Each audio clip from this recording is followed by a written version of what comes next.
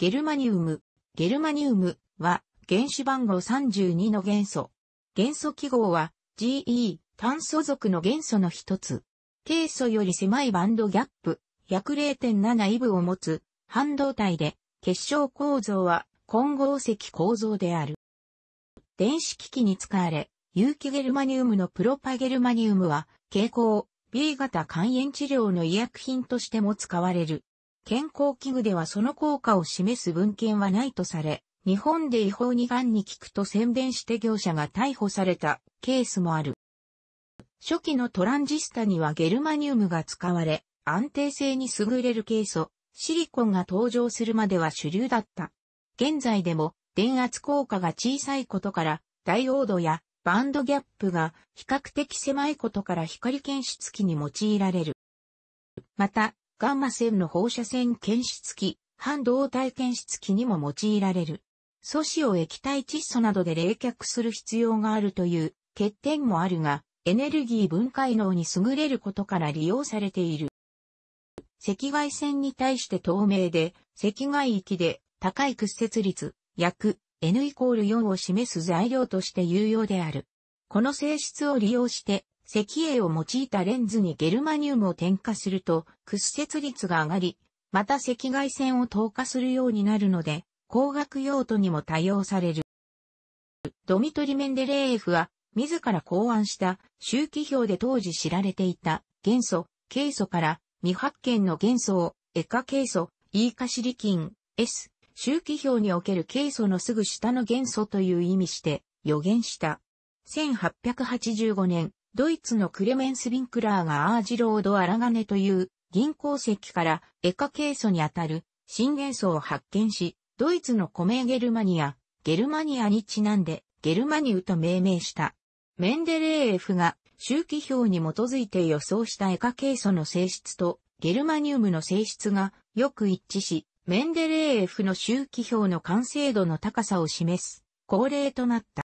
ゲルマニウムは半導体材料としては比較的融点が低いためゾーンメルト法によって半導体として利用できる高純度の単結晶を得ることが比較的容易だったので黎明期の半導体産業で使用された。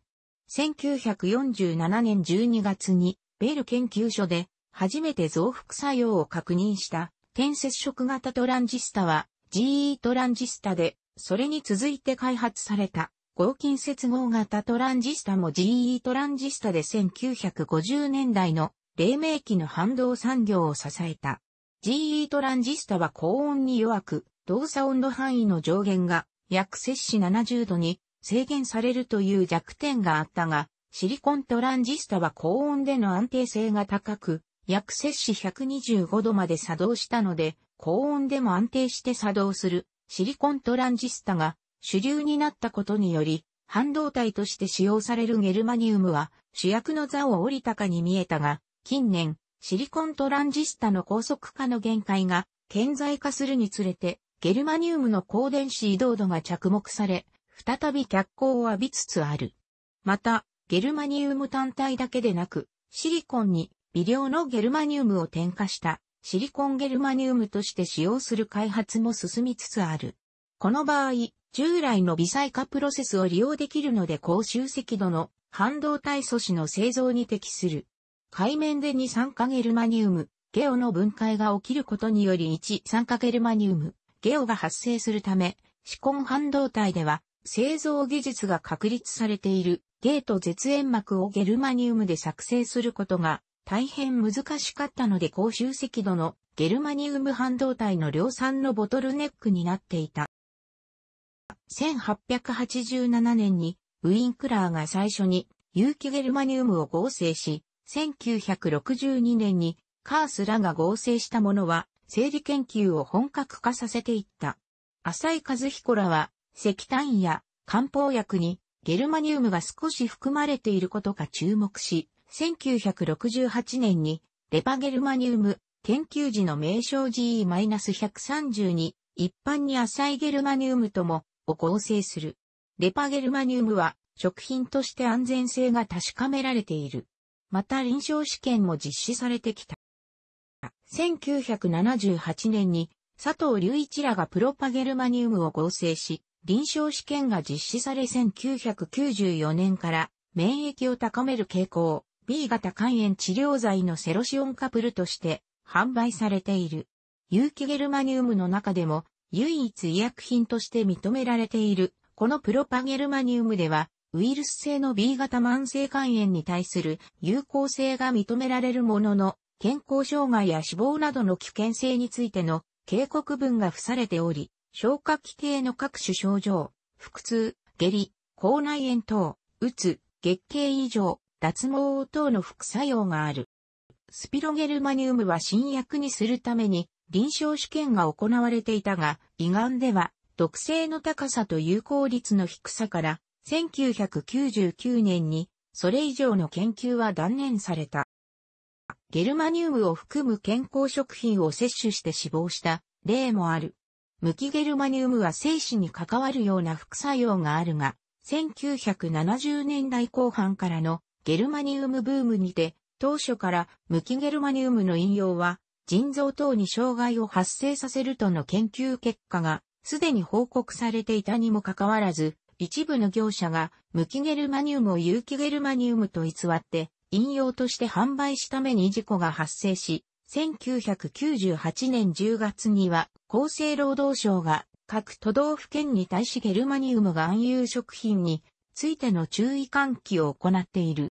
有機ゲルマニウムでも経口摂取による健康障害、死亡例が報告されているため、比較的危険性のあるものである。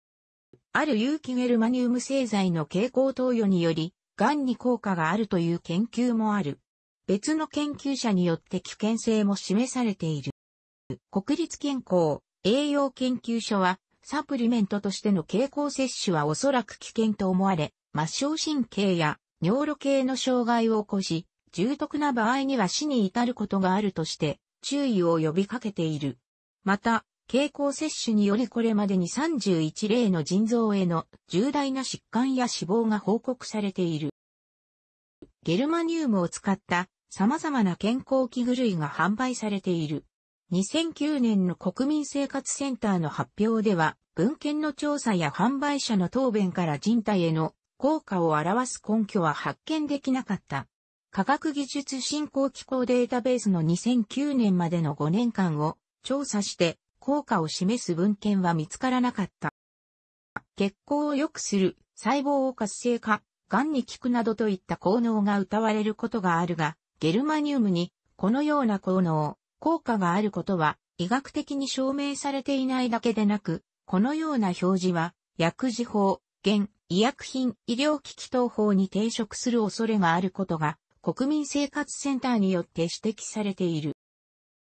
日本では医薬品医療機器等法に基づき承認や認証を得た家庭用磁気治療器等の医療機器の中に一部ゲルマニウムを用いているものがあるが、承認内容ではない効果をもたらすと標榜すること認められない。2010年には業者が逮捕されたケースがあり、癌に効くと言って温熱治療機器を販売していた。楽しくご覧になりましたら、購読と良いです。クリックしてください。